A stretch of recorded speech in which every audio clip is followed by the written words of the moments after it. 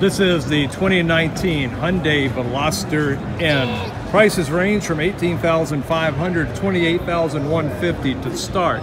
There are four different trim levels. It's powered either by a 2-liter 147 horsepower with 132 pound-foot of torque or a 1.6-liter 201 horsepower with a 195 foot-pound of torque. All are front-wheel drive with six-speed manual or an auto transmission with seven-speed dual-clutch transmission.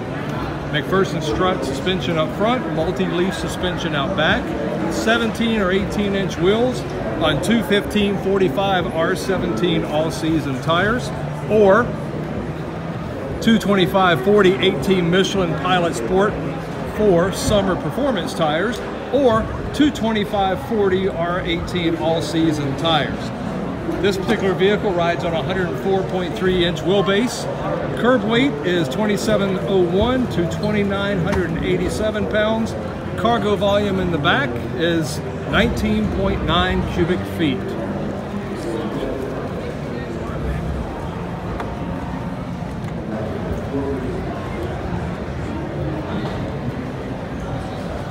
This is the 2019 Hyundai Veloster N. Inside of 2019 Hyundai Veloster. Ample storage right back there in the, in the seat. Oh, that's a deep spot for your little handhold right there for the. Uh, manual seats. Nicely bolstered on the sides there, like the stitching. Cloth seats.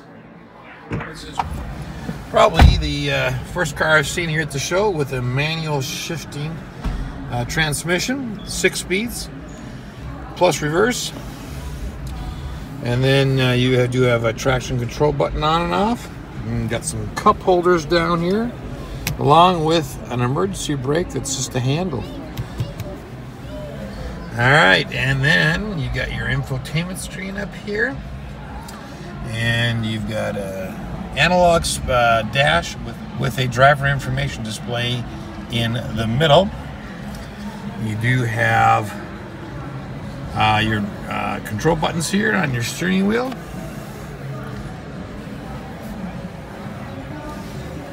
Some controls on the side here.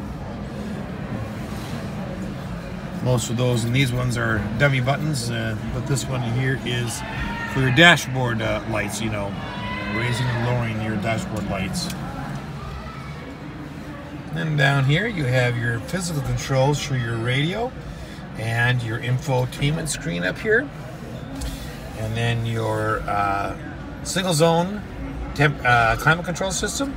You do have a USB plug-in, a 180 watt 12 volt outlet, as well as uh, standard USB on both sides here, and an auxiliary plug-in right there. What is there? Just a sunglass holder right there. And then your lights. Let's go take a look what the back looks like. Okay, so sitting in the back of the Veloster, it is kind of a kind of a tight fit back here, which you would expect. Okay, my knees are basically on the back of the seat here. This is a three-door car, which is really interesting. So there's no window controls on this side. There is like a, a hand grab handle. Um, and you have a speaker right here. But over here, you actually have a door that you can open and close.